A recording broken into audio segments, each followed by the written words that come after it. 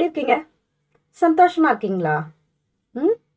சந்தோஷமா இருக்கிறதுக்கு தான் நம்ம சிரிச்சிட்டு இருக்கோம். சந்தோஷமா இருக்கணும்னு தான் ஒரு ஒரு நாளும் முயற்சிக்கிறோம். ஆனா சில விஷயங்கள் கண்ணீரும் கவலையும் சார்ந்தது இல்லை ஆமாங்க. நம்ம நாலு மனிதர்களோட மட்டும் நம்ம வாழ்க்கை இல்லைங்க. பல மனிதர்களை கடந்து வந்திருப்போம். ஏதோ ஒரு காலகட்டத்துல சூழ்நிலையால பிரிஞ்சு வந்திருப்போம். ஏன் மேம் திடீர்னு இப்படி எல்லாம் பேசுறீங்க. உண்மை தானேங்க உண்மை கசக்கும் தானேங்க? லாஸ்ட் சண்டே பீச் போயிருந்தேங்க. ஒரு சின்ன ஒரு பேப்பர் என்னை ரொம்ப கஷ்டப்படுத்திடுச்சுங்க. அந்த பேப்பரை படிச்சுட்டு அந்த கவிதை தாங்க உங்ககிட்ட நான் சொல்ல போறேன். ஒரு நாளே வரி ஆனா என்ன எவ்வளோ மனவேதனை உட்பட்டிருக்கு சொல்றேன். ஏன் இந்த ஒரு தலைப்பை உங்ககிட்ட நான் பேச வந்திருக்கேன்னா மனசால கூட யாருக்கும் சாபம் கொடுக்காதீங்க. மனசால கூட ஏதோ ஒரு சூழ்நிலையால ஏதோ ஒரு கருத்து வேறுபாடால உங்களை விட்டு யாராவது போயிருக்கலாம் புறப்பட்டிருக்கலாம். எங்கேயோ ஏதோ ஒரு மூலையில சந்தோஷமா இருந்தா பரவாயில்ல.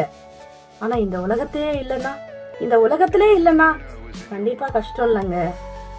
உங்களுடைய கண்ணீரம் ஒரு காரணமா இருந்திருக்குமோ அப்படின்னு நீங்க நினைக்கும் போது அதை விட மரண தண்டனை வேற என்னங்க? ஆமாங்க.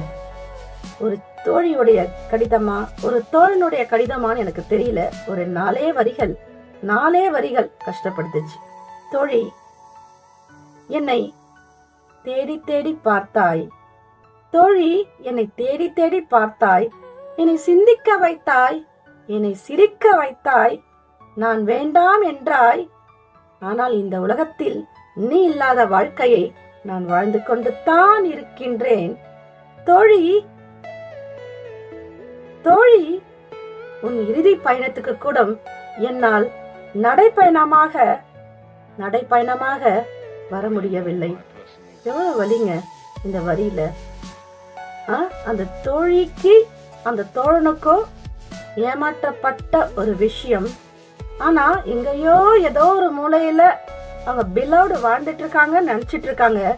ஆனா உலகத்திலே இல்லைன்னு என்பது எவ்வளவு வலி நிறைஞ்சது இல்ல அதனாலதாங்க யாருக்கும் நம்மளோட துரோகம் செஞ்சவங்களுக்கோ ஏமாற்றப்பட்டவர்களுக்கோ தயவு செய்து மன ரீதியாக கூட மன ரீதியாக கூட துரோகம் நினைக்காதீங்க. அவங்க நல்லாவே இருக்கக்கூடாது அப்படின்னு மட்டும் கண்ணீர் விட்டுறாதீங்க. படிச்சிடும் ஏன்னா நம்ம ஏமாற்றப்பட்டவங்க எல்லாருமே பவர்ஃபுல் ஸோ தயவு செய்து யாருக்கும் மனசால கூட மன ரீதியாக கூட நீங்க துரோகம் செய்யாதீங்க. அது நீங்க அவ்வளவு பவர்ஃபுல்லா இருந்தா பழிச்சிடும். எங்கேயோ ஏதோ ஒரு மூலையில வாழ்ந்துட்டு இருக்காங்க சந்தோஷமா இருக்கிறாங்க நீங்க நினைச்சிட்டு இருக்கீங்க. ஆனா இந்த உலகத்திலே இல்லை என்பதும் போது எவ்வளவு வழிகள் நிறைந்தது இல்லை வாழ்க்கை. சரிங்களா? அதனால நிறைய நரிகளும் இருக்கு. நிறைய நன்றியுள்ள நாய்களும் இருக்கு. எங்கேயோ ஏதோ ஒரு மூலையில சந்தோஷமா இருக்கட்டும் நினைங்க. ஆனா வாழ்க்கை முழுக்க உன்னை நான் பார்க்கவே கூடாது அப்படின்னு மட்டும் மனசால நினைக்காதீங்க. சரிங்களா?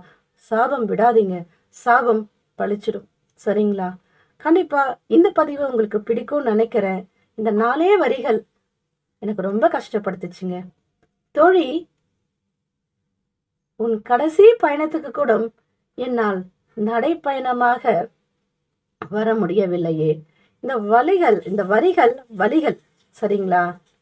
கண்டிப்பா யாருக்கும் அதாவது பாஸ்ட் இஸ் பாஸ்ட் விட்டு போயிட்டாங்கன்னா அது வேற லைஃப் ஆனா நம்ம அதையே நினைச்சுக்கிட்டு அவங்க நல்லா இருக்கக்கூடாதுன்னு மனசால ஒரு சாபம் கொடுத்தா அது பழிச்சிடும் அதனால தயவு செய்து யாருக்கும் இப்படி ஒரு சாபம் கொடுக்காதீங்க என்பதுதான் இன்றைய பதிவு. கண்டிப்பா உங்களுக்கு பிடிக்கும். பிடிச்சா லைக் பண்ணுங்க ஷேர் பண்ணுங்க சப்ஸ்கிரைப் பண்ணுங்க. நன்றி வணக்கம்.